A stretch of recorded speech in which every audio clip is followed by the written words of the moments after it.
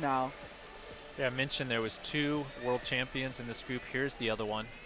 And she is by far the best woman I've ever seen on double mini. We're going to see why here. Look at how high she gets.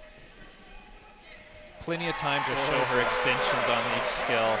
Just Wow. makes it look easy.